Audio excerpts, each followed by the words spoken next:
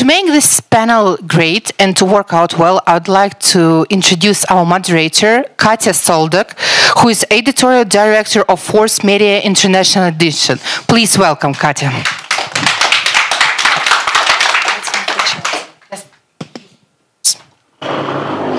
Hi everyone. Can you hear me okay? Mm.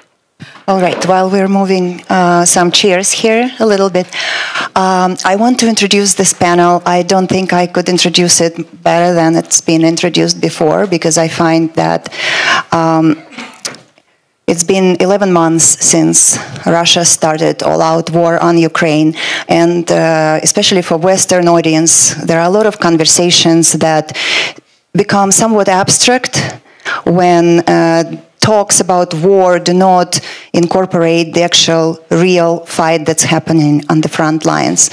And uh, right now we have this unique opportunity to hear from people who experienced this horrific war firsthand.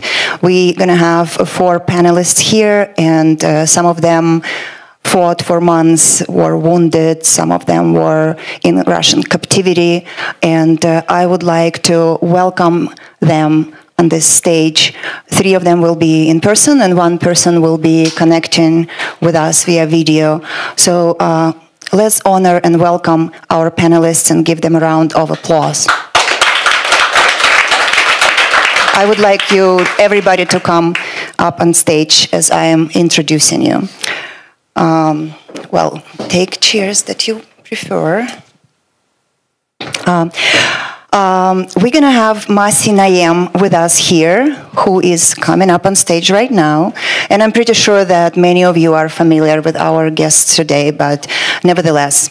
Uh, Masi Nayyem is an officer and lieutenant of the Armed Forces of Ukraine. In 2022, after a full-scale invasion, he joined the ranks of military intelligence. Lawyer by training, Masi founded his own law firm that specializes in legal services to public figures, activists, and military.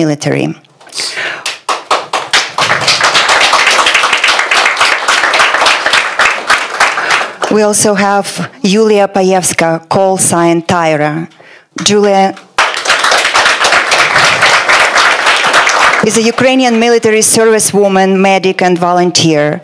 Yulia was in Mariupol, a port city in the southern Ukraine that was under the blockade for three weeks and is now occupied by the Russian forces. Yulia was captured and imprisoned by the Russian forces for three months before she was released in June 2022.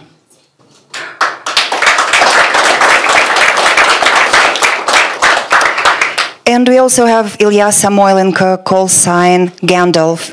He's a Ukrainian serviceman, intelligence officer of the Azov Regiment of the National Guard of Ukraine. Before the war, Ilya studied history at the university in Kiev. From the beginning of the blockade of Mariupol, together with his colleagues, he was at Azovstal, a steel plant where thousands of civilians and military were hiding in the basements for weeks. He was taken prisoner of war after the Russian forces took control over the plant and was released in a prisoner swap in September.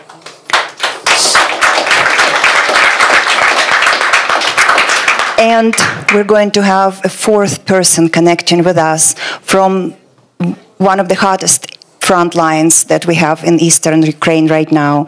Uh, Yegor Firsov is connecting with us via video link. Uh, we can see him now. Yegor, can you hear us? Can we see you? Can we hear you? Well, let me introduce him first. Yegor is a medic in the Ukrainian military. He was a member of the Ukrainian parliament from 2014 to 2016. And after February 24th, Yegor joined the territorial defense and later got medical training and joined the army on the front lines.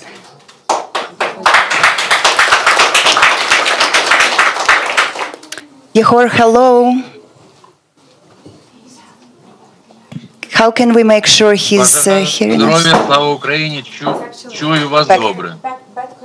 Glory to Ukraine, I can hear you loud and clear. Uh, with people who are here.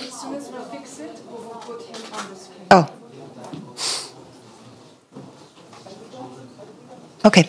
So, um, as I said, it is very important to hear from people who did fight in person and uh, had this experience that uh, is unbelievably hard.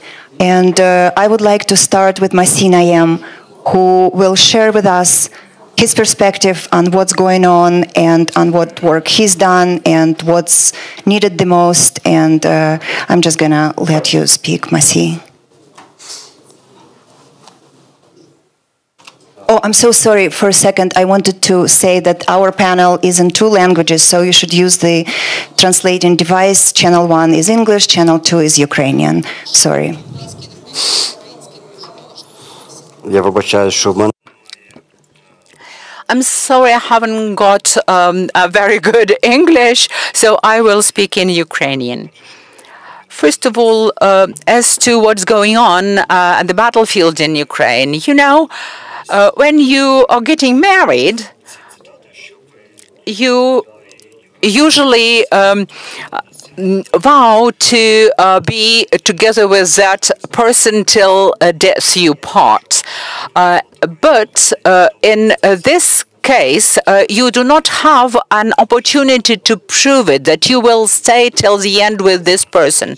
Uh, in Ukraine, we have got this opportunity to live up to our commitments, to our vows, to uh, freedom, to democracy, to the um, values that we share. When you leave this uh, room and you walk uh, the streets of the city, how can you uh, become a hero? By crossing uh, the street where it is necessary. Here it is almost impossible to become an, a, hero, but in Ukraine, every man and woman can become a hero.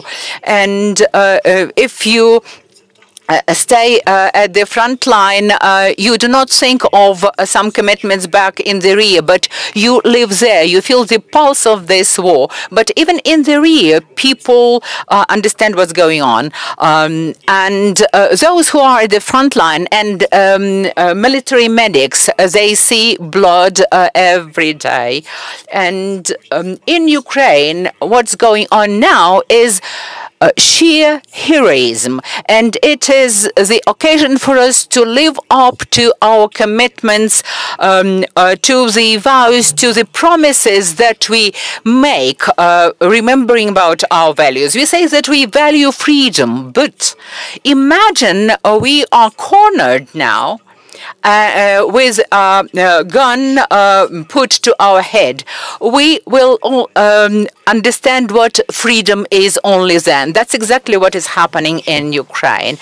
Um, I remember before I was wounded, uh, the day uh, close to uh, the Ukrainian city of Slaviansk, I saw a young boy who was uh, walking in the street and he uh, ran up to our APC and I asked him what he was doing there. It was dangerous. He said, I, am walking just, I uh, asked him whether he wanted uh, an apple. Uh, he he offered, offered me an apple and I saw a reflection of myself in that boy.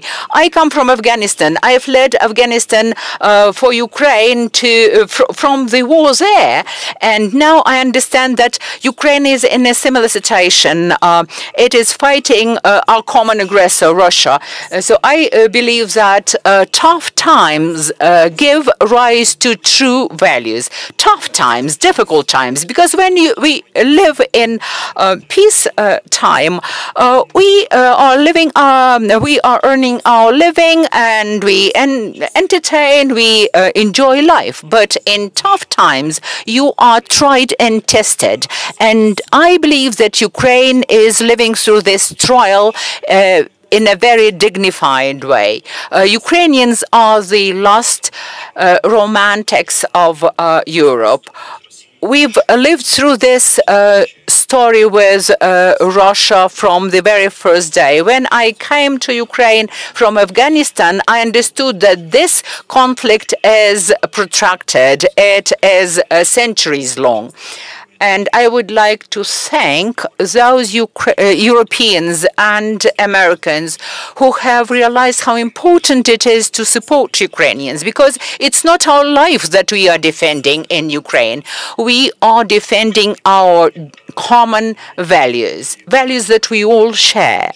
And there should be no prejudice amongst you that you provide us with weapons, with, uh, with armaments, uh, just in order to stave off the war, for the war not to come to your home. It's not about it any person uh, of any country, of any nationality and ethnicity is dying together with Ukrainians there because um, every death chips away something of every human soul. And being a true Afghani, uh, I can tell you that what you, you uh, we are all doing is too little because every day of delaying, of shilly-shallying and dilly-dallying takes somebody's uh, life and thus the humanity is, is suffering because we should be thinking about preserving the human race and do it quickly right now.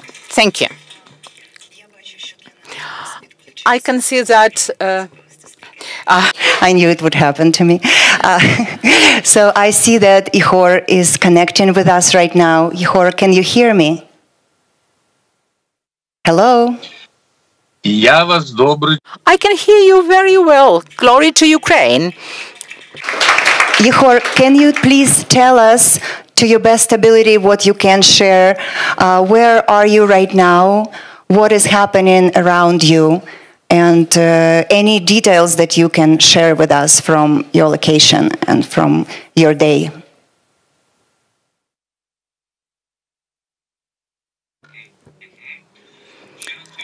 Okay, afternoon, everyone. Uh, I am now uh, together with my battalion close to the town of Svatove at the crossroads of uh, Kharkiv, uh, Luhansk, and Donetsk regions of Ukraine. And before that, I uh, was close to Bakhmut and Soledar uh, together with my battalion any processes can be put on hold but the war. It is going on. And even though the media today are speaking very actively about combat uh, in Soledar and Bakhmut, I can tell you that the entire uh, front line, Mariinka, Pisky, Svatova, um, Avdiivka, uh, uh to uh, the um, battle is uh, going on everywhere. And um, I can tell you that the conditions are very hard. We, the territorial defense, act as infantry. So conditions, living conditions, fighting conditions are very tough. We have to be at the um, uh, zero line, that is, at the very front line, and we live in uh, trenches underground uh, on weeks and weeks on end uh, with the temperature plus, uh, 2 Celsius or minus 20 Celsius when there's a lot, uh, a lot of water under your uh, feet uh, in the trenches when it is below freezing temperature and you suffer from, from frostbites several um, guys um, of our battalion lost uh, their limbs um, because of the frost bites. And your hygienic procedures, all of that becomes a, an everyday challenge.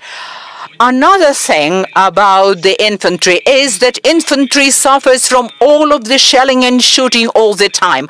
Mines, grenades, uh, artillery, uh, rocket artillery and tube artillery. And uh, in some other regions, uh, you uh, hear about uh, uh, this, but when you are at the front line, at the zero line, you do not listen to the news because you are the news, you live the news, and that makes your life uh, fairly tough. And as I said, we, the infantry, have to meet the enemy um, despite everything against all odds. We have to meet the enemy and uh, fight it. Uh, and um, drive them away from our uh, life. Even with sabotage and reconnaissance groups, we have to be very vigilant to identify uh, them and uh, destroy them. And um, I am a paramedic, and when we work together with uh, drivers to medevac uh, our uh, wounded, um, concussed, or injured, we also work 24/7. Um, and the most regular or most prevalent wounds are those um, caused by shrapnel. This is a piece of shrapnel that uh, I removed from a body of uh, my comrade in arms. From actually from his uh, uh flak uh, um, jacket. he survived, but um, he was wounded and uh, you can find uh, this shrapnel everywhere. It is just a piece of metal, nothing special, but uh, where we are, we receive hundreds or even thousands such fragments of shrapnel. they cut uh, trees as uh, knives. They um, cause a lot of damage to us. Uh, they wound a lot of people. And sometimes they're lethal. Sometimes they're small. Sometimes they're huge. And the um, defenders might not even realize uh, that they were wounded by a tiny piece of shrapnel um, for hours and they would continue fighting unless uh, they get this internal hemorrhage and they suffer a lot. But again, as I said, despite everything, despite um, incessant shelling and shooting, we are holding the line we are putting up fierce resistance. And the key factor of our resilience and resistance is our brotherhood, is our feeling of uh, the elbow of your comrade and brother in arms. You cannot even uh, define or describe the aura uh, at the front line in, uh, and the morale of our defenders. When the enemy's tank is firing against our positions, um, if they do not hurt our uh, foxhole, uh, but uh, fall somewhere nearby. You may uh, suffer from concussion, but you um, survive. And you can only survive is if your um, brother in arms during this shelling, during this shooting, runs uh, to your rescue and digs you out from the rubble of uh, the foxhole. So when the defenders um, thus help one another, um, we um, can see this uh, front brotherhood. Uh, I saw lots of such situations. I haven't got uh, uh under such conditions, but I'm sure that if this happens to me, I will be rescued by my um, fellow um, fellow uh, servicemen. Uh, what um, makes us happy is the news about the new deliveries of arms, weapons, and other military kit to Ukraine. Uh, when I was serving close to Avdiivka, and our basic task was to keep the line, not to recede, not uh, to go on the uh, on the retraction. Uh, now we are ready to go forward uh, to go on the offensive. Yesterday we, heard, uh, we overheard the um, telephone conversation that was tapped of uh, two military, Russian military uh, servicemen, and they are shocked because even though they know that they uh, keep us under constant barrage of shells, we are uh, we are invincible. We are standing our ground. We are standing tall. And we understand when we hear them speak like this, we understand that we are there for a true cause and that we are doing the right thing. And you are prepared to do even more to move ahead and liberate all of the occupied territories. Uh, so I'm Soldier Firsov and uh, Roger. Thank you so much for sharing these details with us. Uh, I, I, would like to follow up very quickly on what you said. From what I remember, Avdiivka is your hometown, right? Um, can you just share with us what is it like, or what was that like when you were stationed next to your hometown fighting uh, the enemy?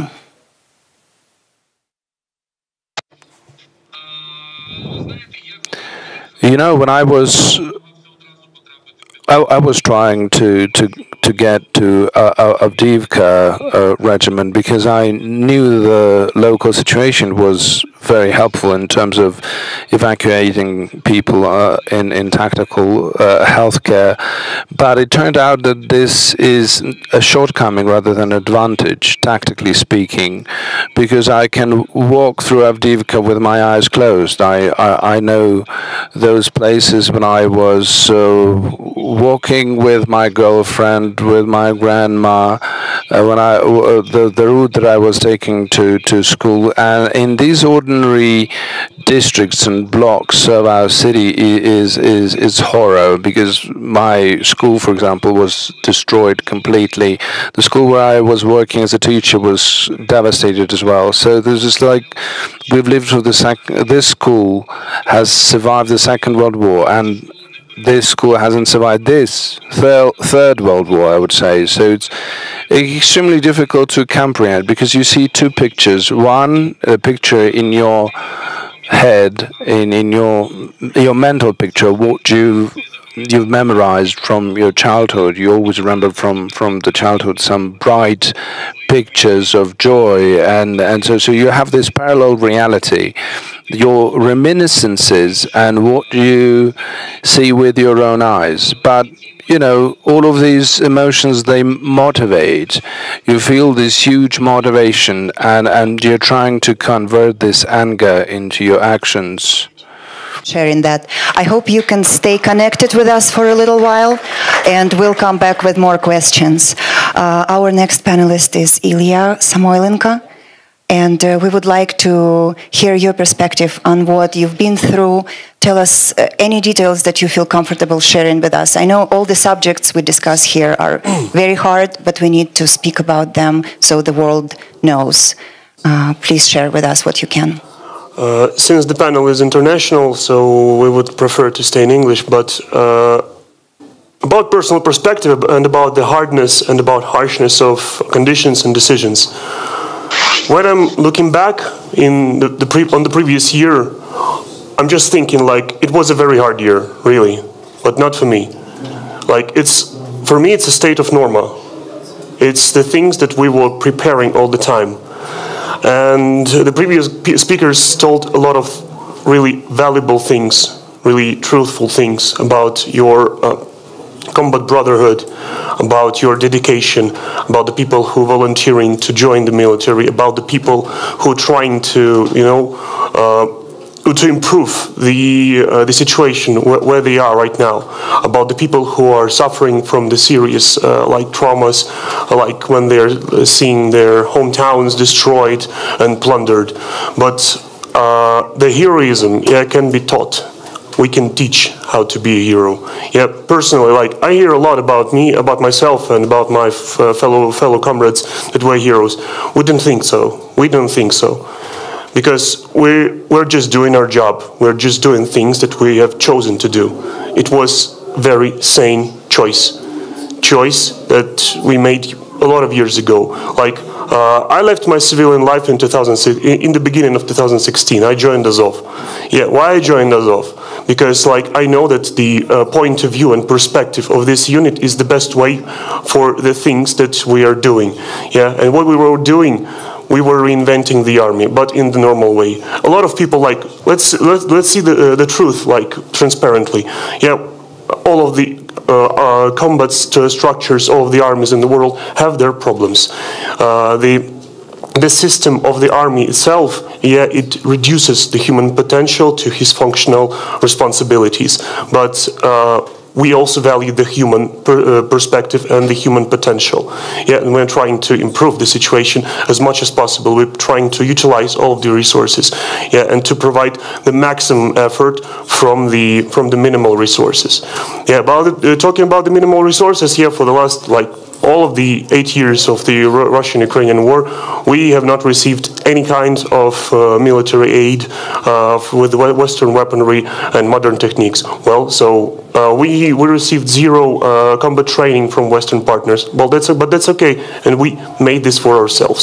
We invented this stuff for ourselves. We took the best uh, techniques possible in the world. We analyzed it and we utilized it and we provided it to, to our unit. And we can, we can explore this experience for the whole variety of combat units. Because uh, like everyone's everyone knows what happens in Mariupol what happened in Mariupol. Yeah all of the world like the, the eyes right now are opened. Yeah, the myths are broken, the propaganda is broken. No, now, now, now, now everyone sees. Yeah, for me it's like a bittersweet feeling because like a sweet feeling is to sit here in Davos, yeah, to shake hand, hands with the people who are in power, with the respectable people, with the people from uh, international organizations, and it's a great honor for me to present Ukraine in my unit here. Yeah, but bitter because like the price of these human lives.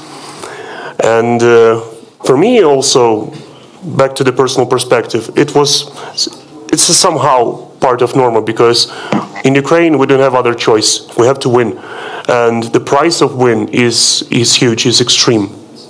But we should not be extreme in all ways. Yes, we should stay. We should, we should stay humane. We should support each other. We should protect each other. We should look each, uh, after each other. But uh, the Igor told about the combat uh, combat brotherhood. Yeah, it's this very sweet feeling that how people are experiencing the way that gives you the feeling of, of being alive when you're like surrounded by death.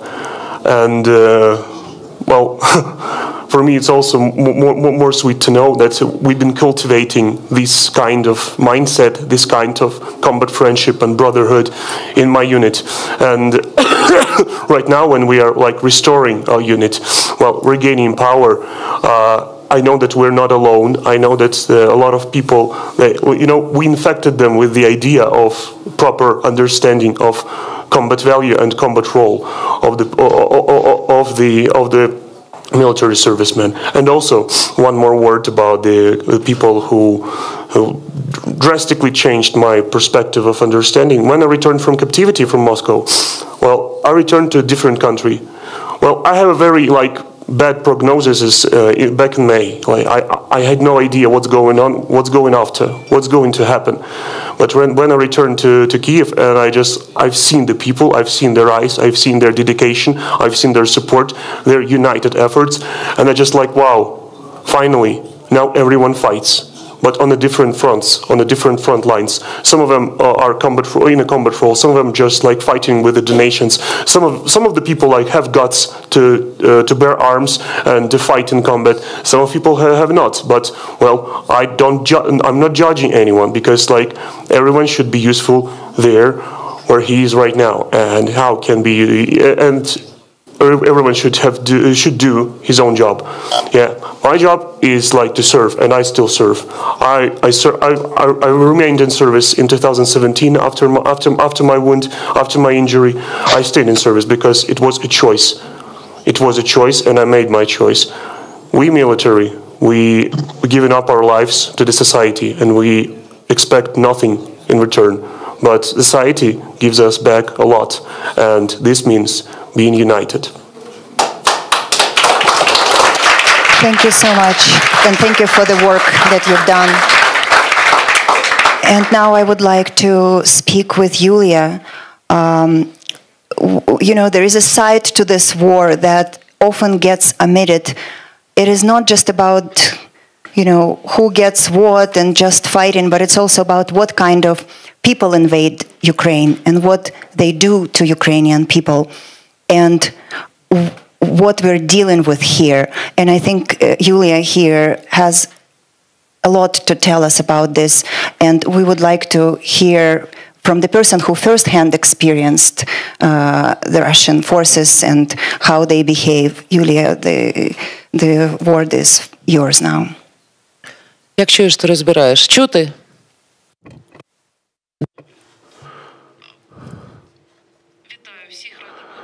I would like to welcome everyone. This is my honor. I keep listening to to to the to the air here. This is uh, something unconscious.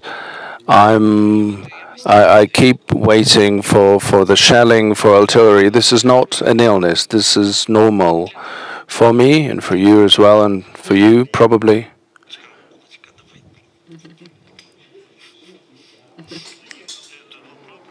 There was a jam here, and we asked, uh, "Why is the jam? You can go. Maybe there will be shelling from or the the missile."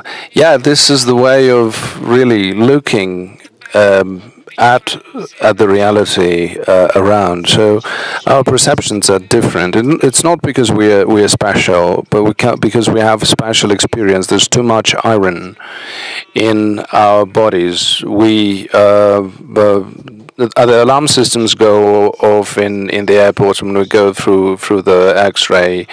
So too much iron in our strong will, it's unbreakable will, and no one will be able to do anything with this country.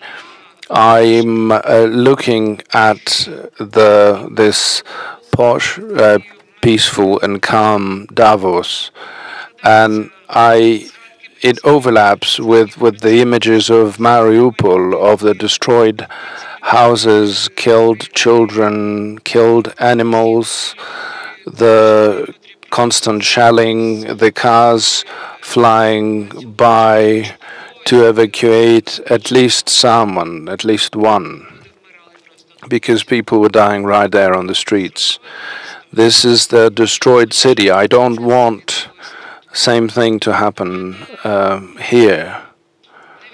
Uh, the uh, integral part of my women uh, wardrobe is is the armored vest, and I have a, a good one. So I don't want uh, girls in Europe and around the world to to have that piece of wardrobe. I want them to wear good silk dresses and Russia has chosen the path of not just destroying the Ukrainian nation as it is. This is not just genocide of the whole nation. This is the genocide of the idea of the free world. The, the, this is the, the way of the path of destro destroying the freedom of, of will the the dis destruction of uh, values that your uh, ancestors and our ancestors were dying for, because the achievement of the European uh, nation and the nations of the free world is that it is based on the price that was paid in the past, and that was a bloody price. And I do hope that this war and I call it the Third World War, taking into account all the powers that uh, are participating in the resistance uh, to the aggression. I do hope that this will be the last war, and our um, grandchildren and chil uh, children will not see this again, and that they will the bell uh, the the the bell will not go off in the airport when you go through the scanner. The the price of the freedom. Um, is is priceless. But you can you can understand this, but uh, feeling this is not possible. Just take our words for granted. Thank you. wanted to ask your opinion uh, on this subject. I often hear from, I live in the United States, so I communicate with a lot of people who are further from Ukraine than a lot of people in this audience or us here on stage. And uh, from Europe, people sometimes talk about um, giving up Ukrainian territories to Russia so the war will be solved and there will be some diplomatic solution. And I know that Ukrainians do not consider that. And I wanted to ask you specifically, why so?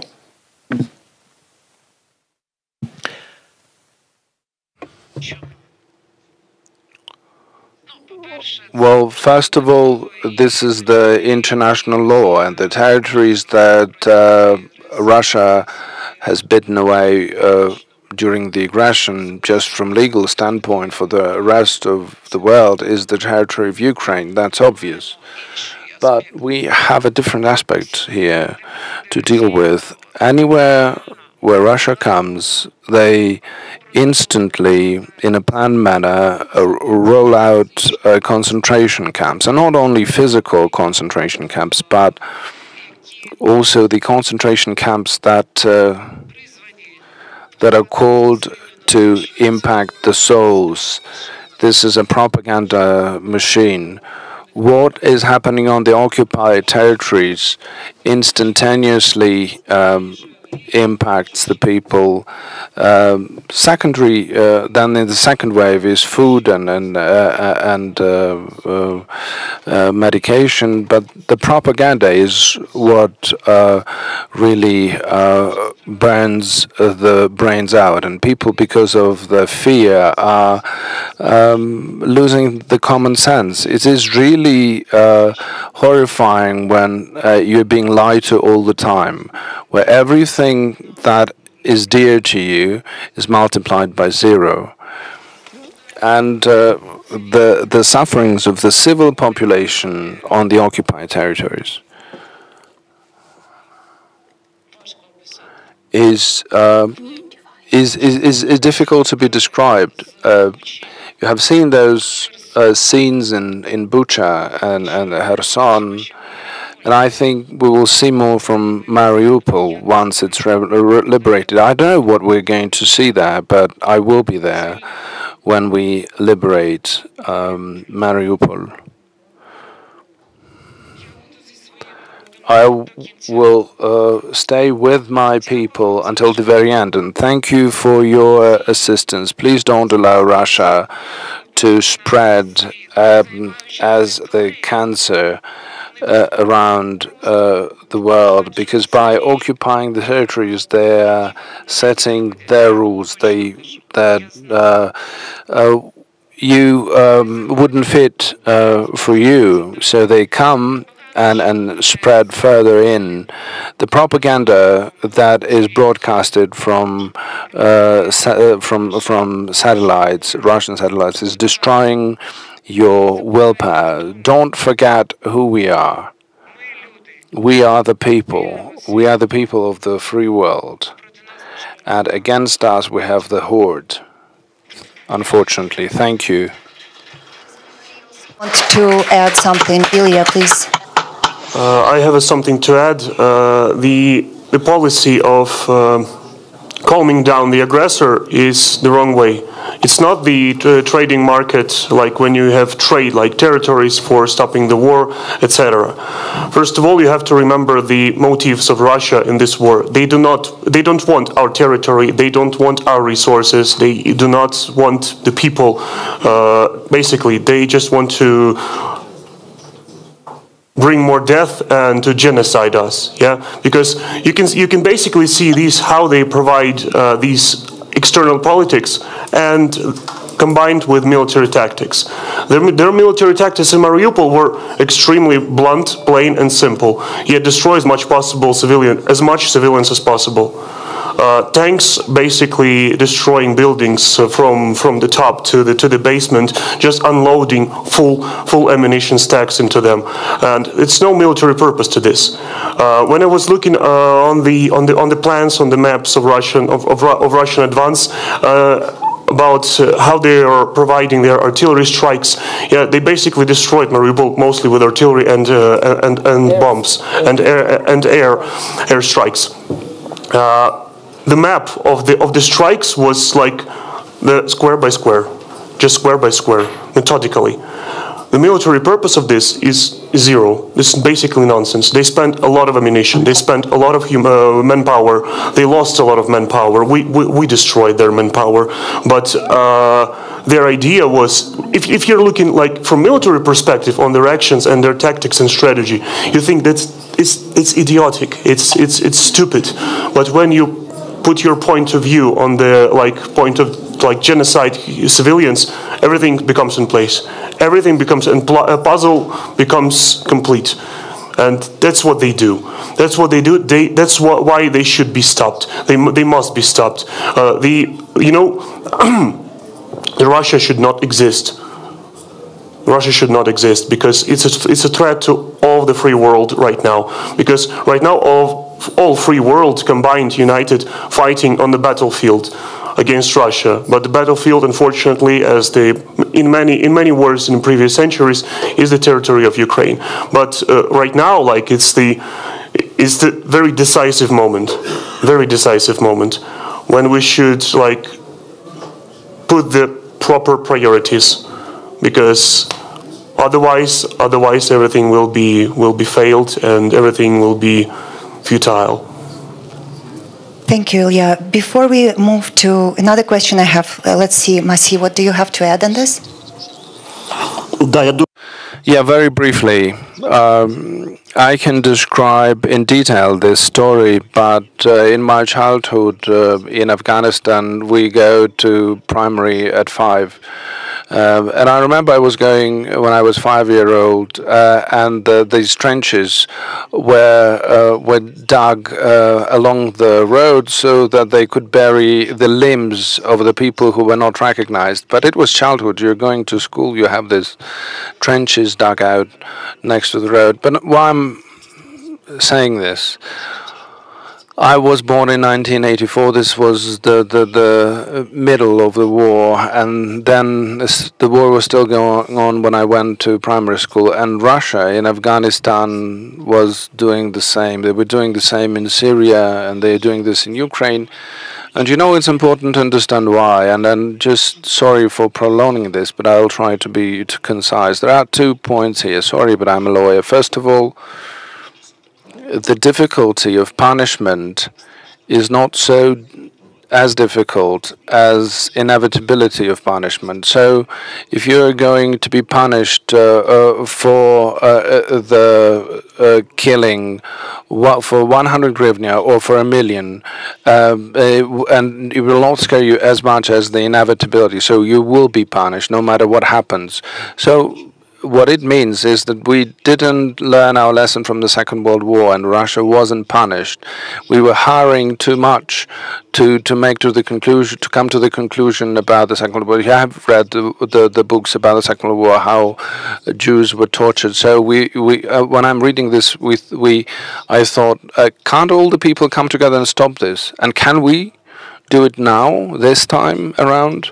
So uh, the the reality is that Russians uh, live as uh, beasts, and all the beasts um, are are driven by uh, two things: the um, the the principle of suffering and the principle of um, uh, of of enjoying uh, the process. Only a more mature race can have different principles and follow the motivation. So when you give 100 hryvnia to uh, the child because she's asking for money because the cameras are around, that's one thing. When you give 1,000 hryvnia without saying what what do you want in return, that's a different story. So the Russia um, treats the rest of the world judging by themselves. They uh, act like beasts. They are killing us in a rough way, thinking that we are going to be scared. If we're going to be scared of this, then we will turn into same type of beasts. And I think this this the story now I think is very similar when you go by and the woman is being beaten up and you think, well, I have lunch to attend to, I have to go. So unfortunately, um, well, and I will. Uh, so the, the karma in Buddhism uh, uh, catches up with you because that same thing will happen to you, and this is what's happening to the humanity. This is not the issue for Ukrainians, not because we are smarter or or, or better looking. I'm uh, Afghan by nationality, if the person, one person is suffering, no matter what the reason is, and those who started this aggression ha- have to be punished, and the longer the punishment will last, the less sense uh, there would be to repeat it. So we have to do our best to turn Russian beasts into Russian human beings, and doing this the same way as they like by punishing this big way. And so, therefore, we cannot stop just by bringing back Donetsk and Lugansk and not the Crimea. We can't stop there. No way, because like beasts, they don't understand any other language. Only when we stop Russia, which happened to the USSR. I remember when they attacked um, Afghanistan, they uh, ceased to exist, and I think the same will happen to to, to Russia. Uh, I think that uh, the uh, uh, aggression against Ukraine will bring to Russia ceasing to exist. And that that's it. I'm I'm finishing that for sure, because in in the in the law profession, debates is the time that where judge cannot uh, stop you. So, yeah, but. Um, the number of deaths that uh, have happened in Ukraine by now, and I'm not counting Russians. I don't care about them. This is their prize. They started this for their inadequate wishes. But the number of people who killed, who died in Ukraine, is not the price of our mistakes. This is the price of our willingness to push it to the end.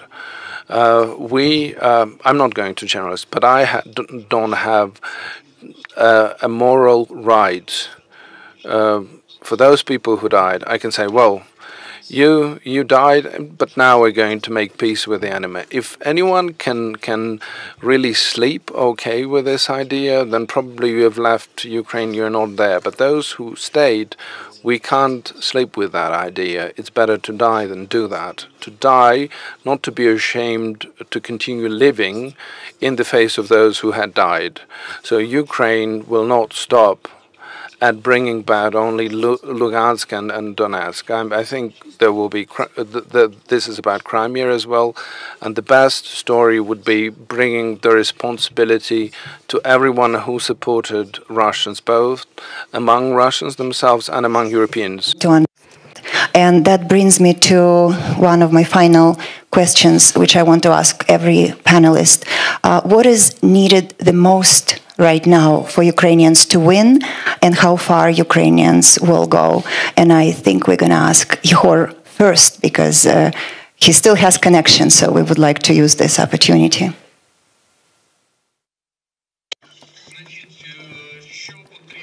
What we need most for the victory, we have to persevere to continue doing what we have been doing. Uh, sometimes uh, the impossible thing, to make the impossible possible. We have already done that and we will continue to do so. Not a single artificial intelligence, not a single um, crystal ball would give Ukraine a chance against Russia. But here at the front line, most of my comrades in arms are not professional militaries. I uh, learned from YouTube how to use uh, the assault rifle uh, on the 24th of February. Most of uh, people around me used to be uh, miners, farmers, um, metal workers, um, IT experts, etc. But now they are the best trained military um, of uh, Europe, and they are holding this front line. It is fantastic, isn't it? When a person of 60 years of age at the front line with no military training, official military training whatsoever, with no military rank, stays in the front line and supports all of his uh, uh, fellow servicemen and servicewomen with his joke or with uh, some uh, practical assistance. So uh, fighting the enemy, he finds the time to make jokes. That is some something super nation, uh, uh, human, I think. And we have to persevere, as I said. Of course, uh, we will have to do a lot. We have to improve our knowledge, skills, and training. Um, and we have to improve our internal organization, the way uh, the military is uh, managed. It is all about the right strategy, right tactics, about the development, organizational development for the military. And number three, uh, that's what uh, we uh, will take away from uh, this war, and that is that ammunition is key. M military equipment is key we uh, in the infantry do what we are supposed to do, and artillery is to cover up for us, to uh, protect us. And sometimes when they uh, run uh, low on uh, ammunition, uh, we are almost helpless. So, and that again is about losses of human life, with uh, no parity, uh, being too outnumbered and outmanned and outgunned is uh, very difficult. Sometimes uh, we make one shot and they uh, return 10 shots. Uh, one um, uh, artillery uh, fire um, round will uh, be uh, retaliated with hundreds. So we have to be well equipped to liberate our territories that the enemy has captured.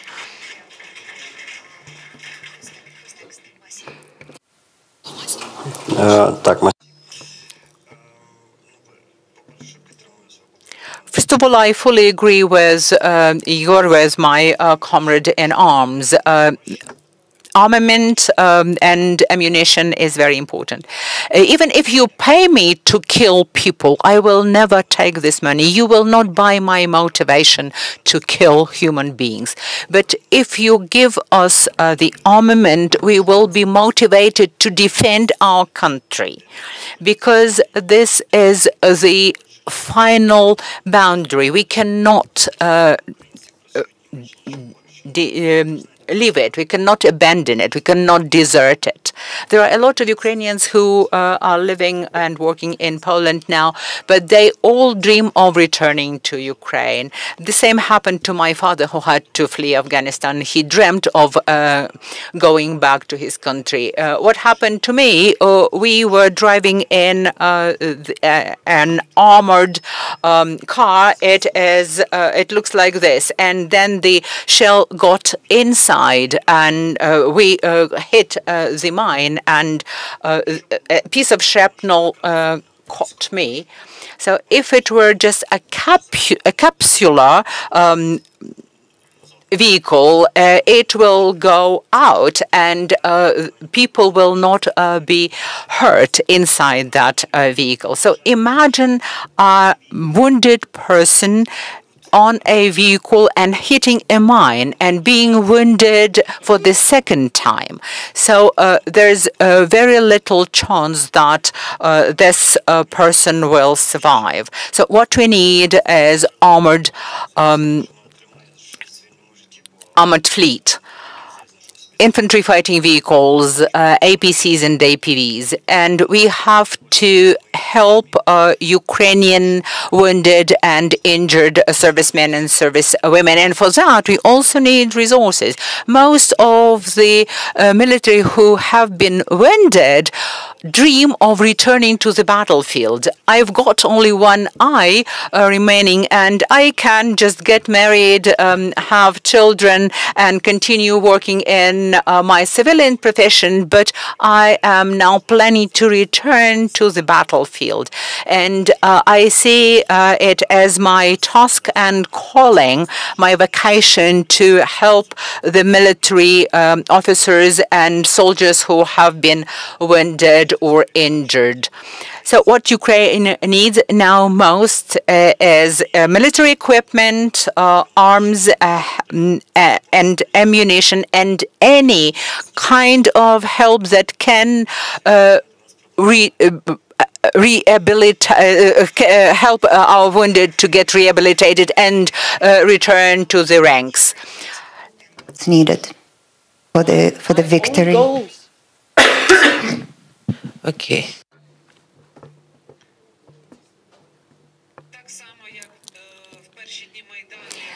like uh, in the first days of Euromaidan, I was there to support people, to save uh, people's lives, uh, to help uh, the injured um, protesters. Uh, I feel the same. Nothing has changed. Uh, I've got the same uh, purposes, uh, the same tasks. I have to help people. I have to save people. Now I can do that to more people, not one by one, but I can help the entire nation and perhaps the entire world to understand what war is about and uh, to help them help us. So, and what I also need, I need, is justice. Because justice is just what is understandable to every human being in the world.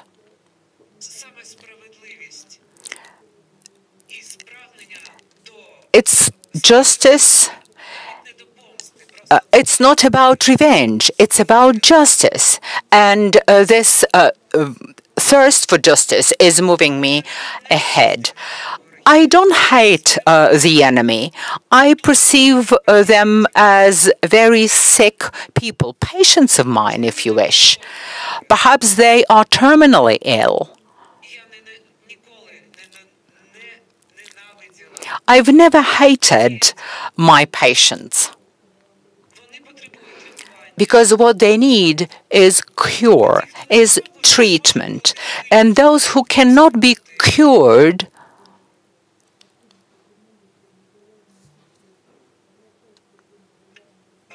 should be punished or sent to another world. Justice and help is what we need. I see the um, Ukrainian military and civilians who suffered in the captivity and uh, have been released because I understand what happened to them there and my heart is uh, breaking. I thought that I um, had seen everything in the war, but uh, what is going on in captivity is beyond uh, human. It defies any description and defies uh, human nature.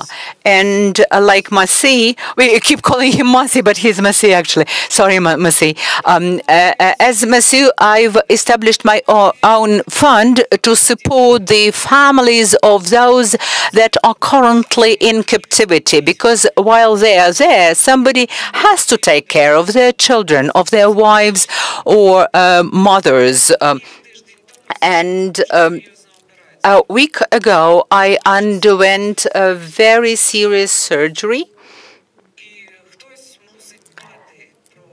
And uh, I understand that I also need assistance. I am a civilian now. Uh, the government cannot take care of everyone, and we have to take care of ourselves and of those uh, like us. And this is yet another uh, aim that I strive to achieve, uh, to help uh, civilians who are waiting for their near and dear uh, from uh, uh, to return from captivity. And I want justice. Thank you. The last word is on me. I'm I'm strongly agree with the previous speakers, like with Taira, with Masih, with uh, with Igor, about weaponry, about the shells, about ammunition, about uh, armored vehicles, about combat help, uh, about um, political political support, because it's very valuable. It's it, it, means a lot. Because how far we can go, how far we Ukrainians can go, uh, according like based on my perspective view, like for us, this war is like it's all in it's all in. It's now or never. It's like we, we, we don't have we don't have the, the luxury to, to to have a rest. We don't have a luxury to to be relaxed. No time for rest. Uh, we cannot we cannot lose because otherwise we we will be done.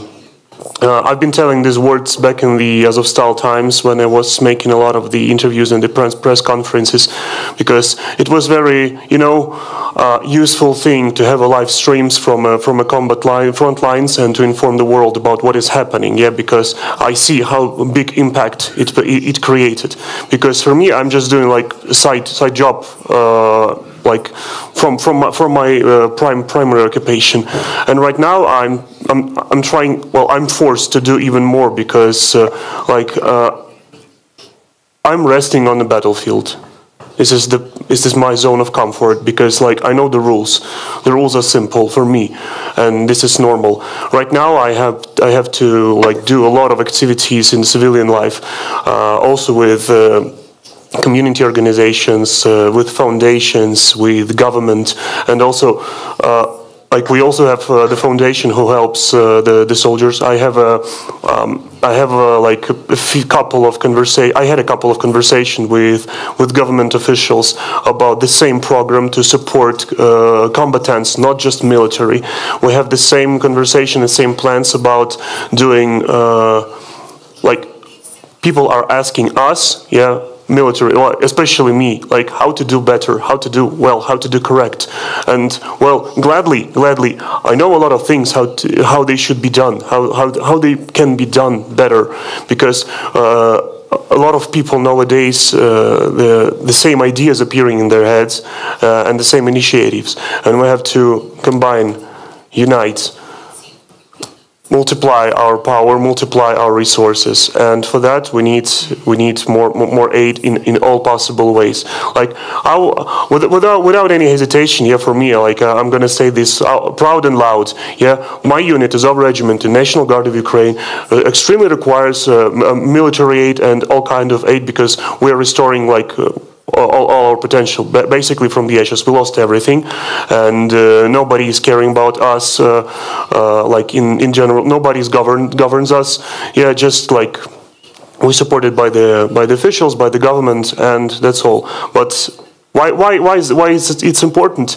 Because I know how to teach people to become heroes. I know how to uh, motivate them even more. Uh, I know how to project these ideas widely. I know how to do it better. And my great goal is to uh, bring 10,000 very intellectual, uh, intellectual elites in, into the military. They should be they should be in the military. And in a couple of years, these people who will like witness these materials like death, life and death in, the battlefields with their combat experience, they will become a great, great bulk for administrative control in Ukraine, and they will like improve drastically all, all, all our lives, and they will like existence of these people with these with uh, this kind of experience will eliminate all, all, all of the all of the problems that we have right now for the better future, for the world of justice, for the resources that are not uh, and for the benefits of not just Ukraine and all of the free world. Thank you so much for sharing with us about the realities of the war and the work that you've done. Uh, I believe we still have a few minutes for Q&As, so I would like to open the floor for questions uh, to our panelists. If you have specific questions to one of them, please tell us. If it's a general question, just ask and we'll see who can take it. Okay. Okay, just very quickly, there's a common narrative that we need to give Putin a way out. We need to allow him to save face. What do you say to that? Who wants to take that? I can tell. Okay. Go on. Oh, just imagine a man right now he comes into the middle of this room, he drops his pants and starts uh, to rape a woman. Should we think about saving his face, about giving him an off-ramp? Should we be saving the face of that man or a woman uh, who is a victim to uh, rape? We have to save the um, uh, victims. And if uh, it takes my life uh, to punish him, I will give it readily and selflessly. And it is a manipulation. You know, uh, in uh, I had a case, uh, legal case. we protected a woman or defended a woman who was splashed. Um, uh, acid into her face and she eventually died. But when we were talking, she told me, if I die, do your best for this murder not to go unnoticed, uh, not uh, speak up. So do not um, succumb to this manipulation. Do not allow the world to start speaking uh, even about saving Putin's face. He doesn't have any face, any human face. If we save his desire to kill, even though uh, Ukraine did not provoke this uh, war, so what will we save? What value will we be promoting by doing so? I would like um, uh, us to save the woman in Dnipro who uh, died when her husband uh, actually hugged her, trying to save her from the shrapnel uh, that was raining down on her. But she died. And I think that her face is much more human and humane than that of Putin. So there is no saving that face.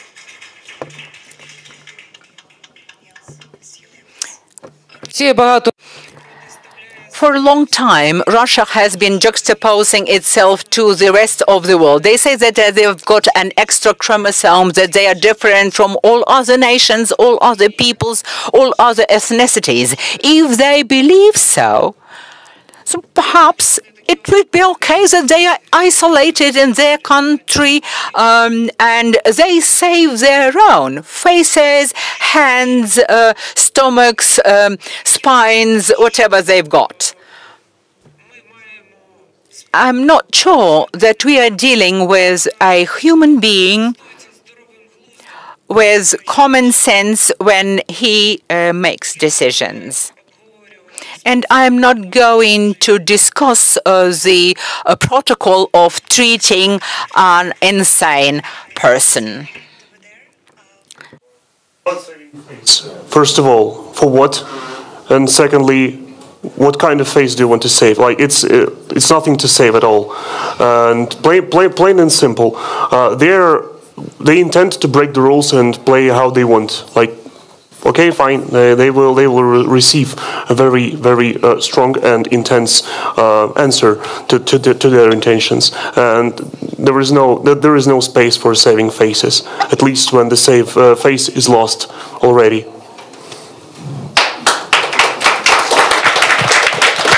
I believe there is a question over there. Uh, hello, uh, my name is Lamia, and I have a question, uh, still not open for me.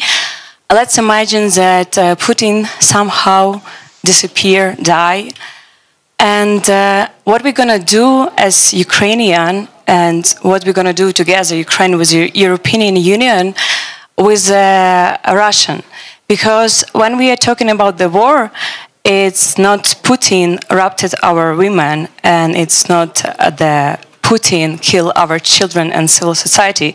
So it's a decision of the military.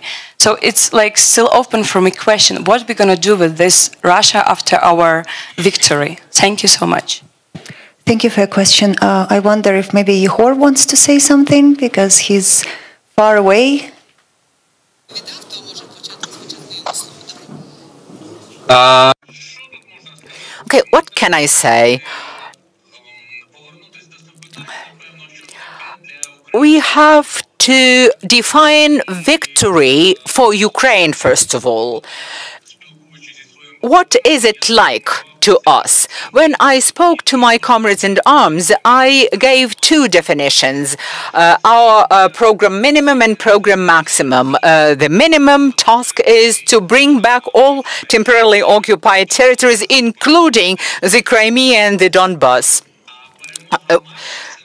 Just uh, return to our internationally recognized borders of 1991.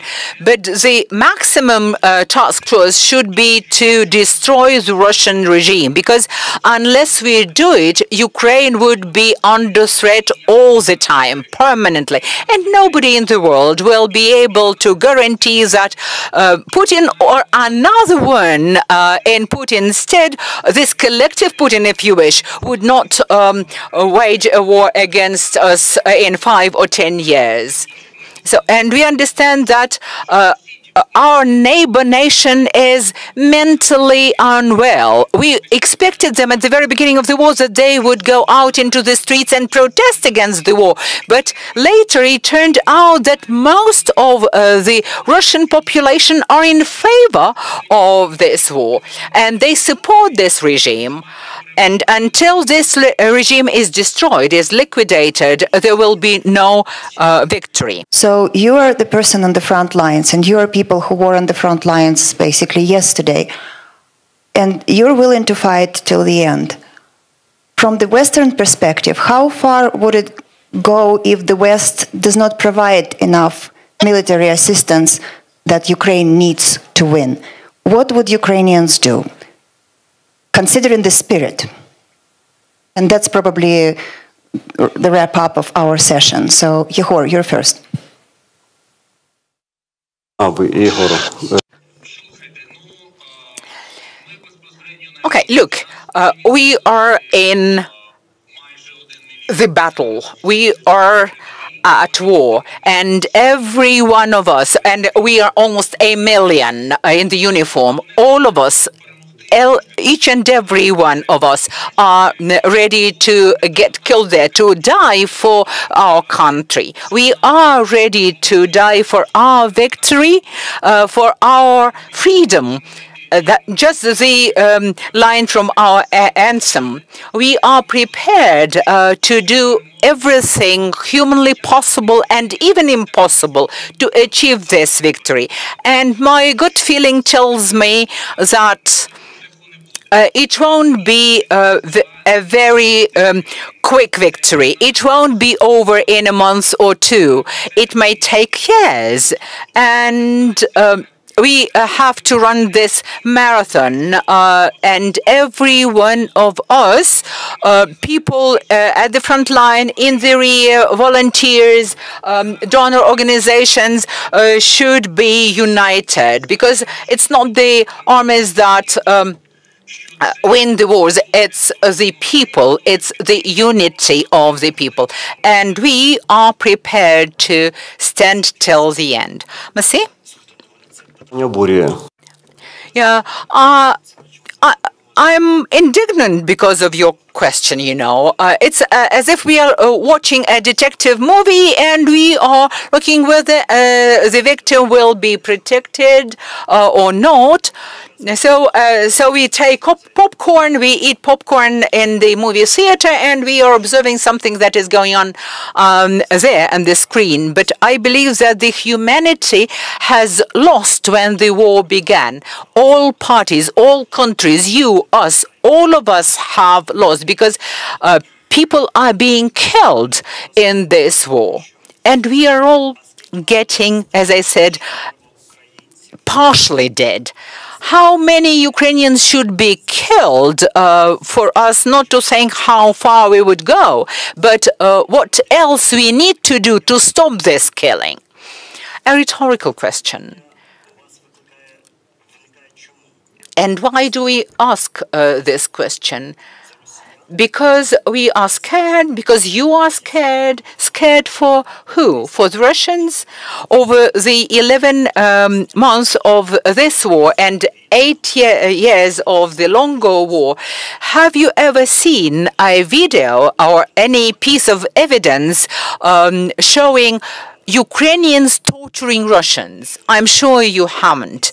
Over these years and months of the war, we've proven that our values are much more potent than our hatred, that our desire to um, uh, kill our enemies. I've got a, video uh, footage of um, taking um, the uh, prisoner of war.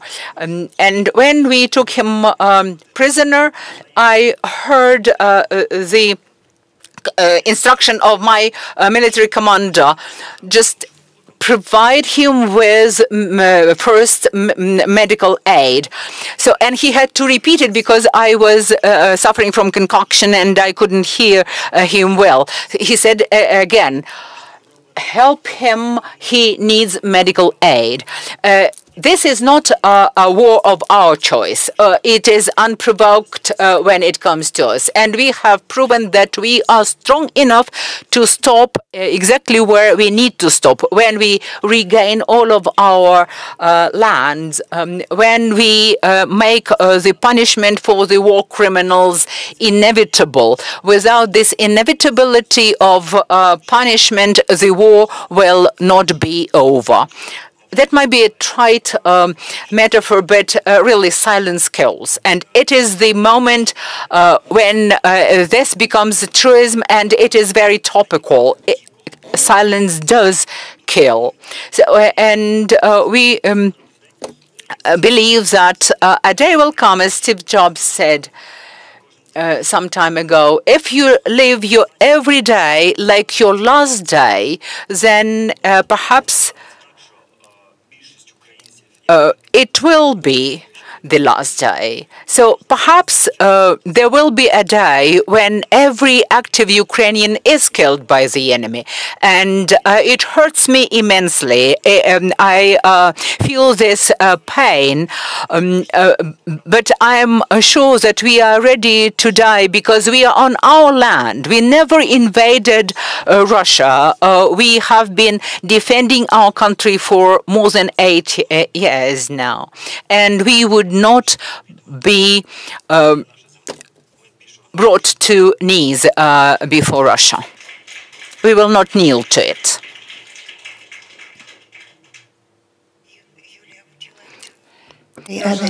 Okay. Трошки втомилась. А... I'm a bit tired, you know, of talking.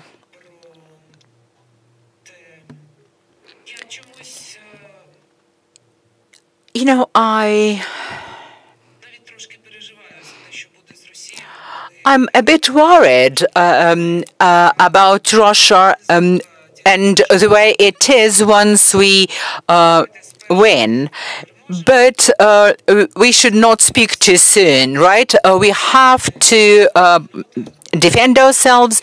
We have to uh, achieve victory in this war. And then the international community, uh, the um, international uh, humanitarian law and any uh, and criminal law and any other uh, kind of law applicable would decide what to do with the Russian war criminals.